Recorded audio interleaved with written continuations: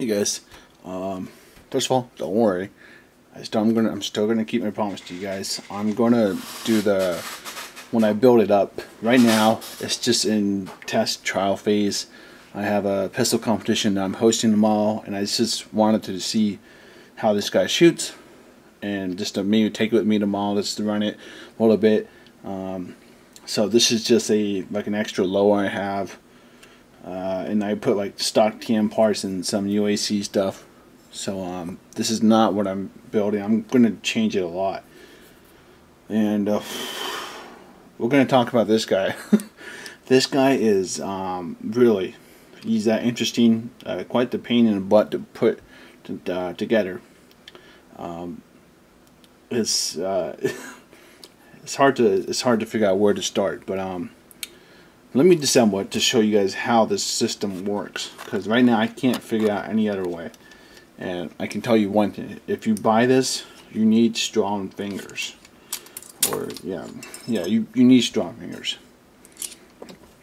Now this is the front half. Uh, one thing that stinks and I'm gonna change it but that's just me is um, it's cool. I mean you know this is a 22 and they basically made it the size um, but unfortunately, you can see that if you want to, I wanted to add a compensator, an extra compensator on here, or a threaded barrel.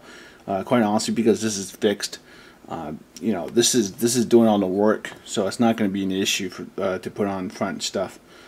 Um, but you can't do that.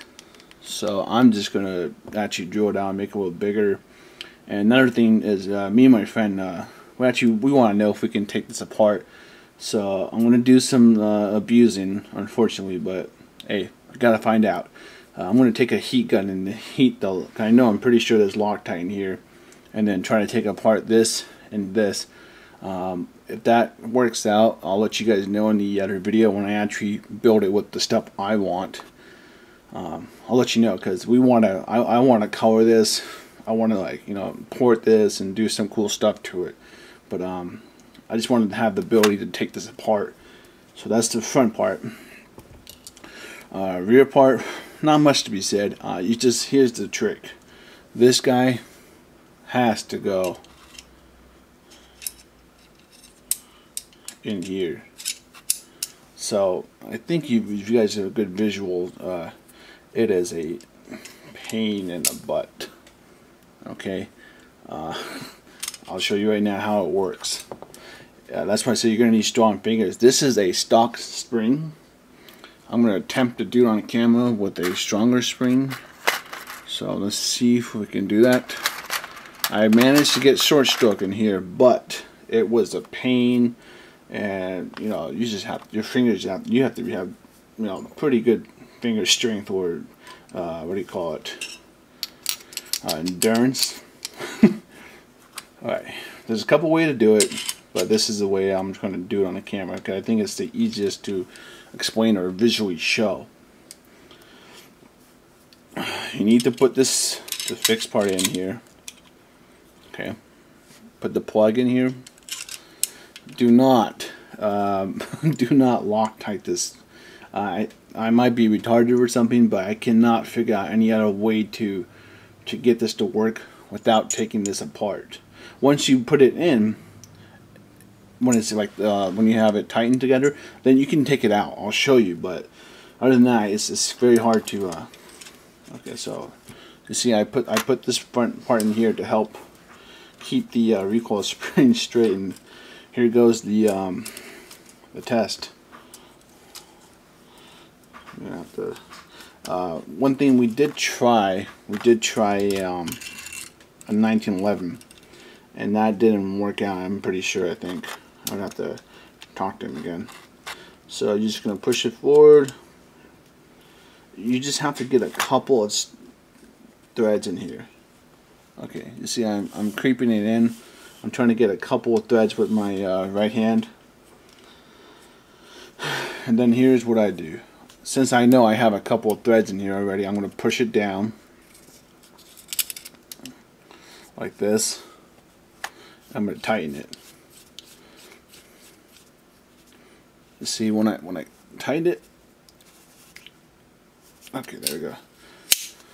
It should be should be flush. You shouldn't have any issues. You shouldn't have anything sticking out. And just check the seams. Where, where the seams at? Uh, right here. If you can see that.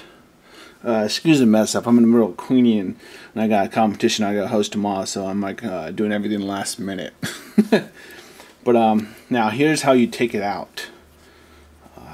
Let me see if I remember this correctly. You're gonna pull this section up so you see the front of the cap. Okay, you're gonna push that out. Okay, and then you're gonna lift up the front. It's so hard. Just like that.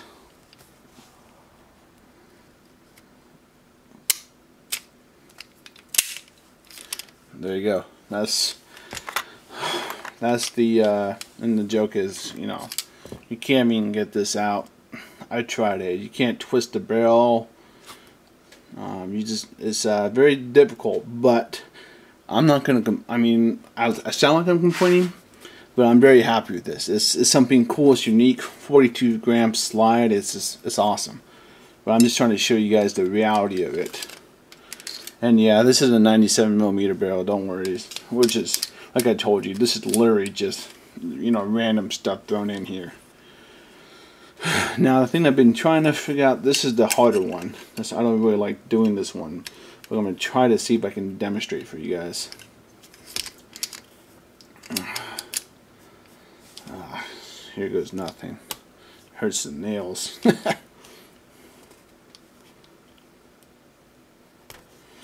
Especially since this uh, recoil spring, the stronger the recoil spring is, and the more short stroke you want to put in, you're just going to have a nightmare.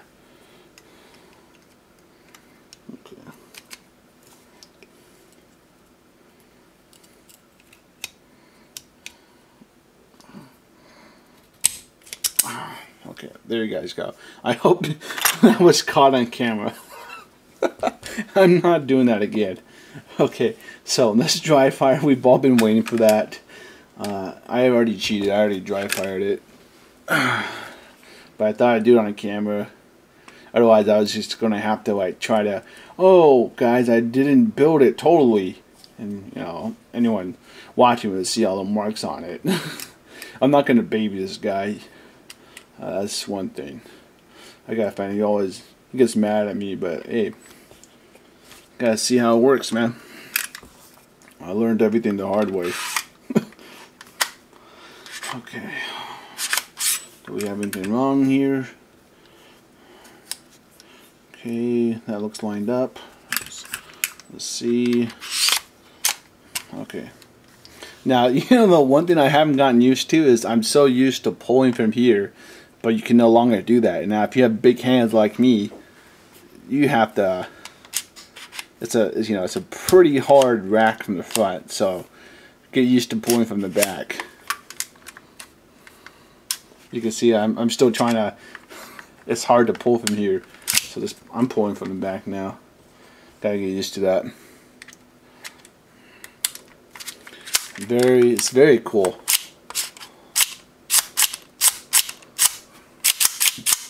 Okay. Let me get a mag. Okay. Alright. On camera, guys. I think this is going to be like the first dry firing test video. Um, not enough? Okay. It's so, so nice. The joke is it's not even all good stuff in here.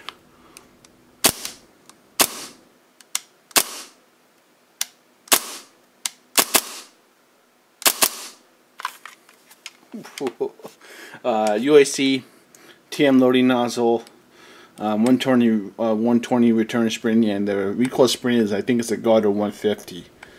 Okay, um, and then the stock TM parts with the steel sear and the steel valve knocker that comes with the advanced frame.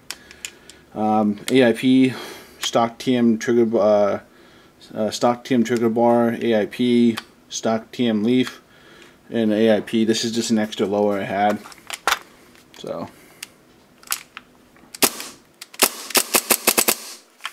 Uh, it's a little late, so I don't want to shoot too much, but uh, let's just do a little more. Let's see if we can get uh, one of the muzzle flip. I'll do just one hand.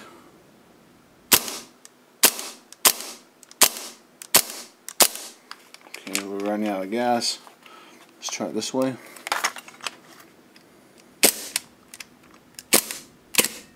Okay, out of gas. Uh, stock camera spring too. Let's make sure we're out of gas. Okay, cool. Oh. I don't have a detent, detent set in here, so when you turn it to the left, the slide catch will pull out. So if you guys ever have that problem, you should check your detent set. Let me see if it locks.